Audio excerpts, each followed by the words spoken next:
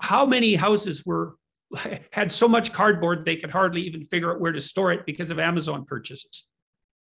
You Amazon sells everything. And, you know, in some sense, hats off to Jeff Bezos because look at the supply chain that he managed to keep going under dire conditions during the pandemic. But on the other hand, every cent he made, in some sense, was taken from small business people.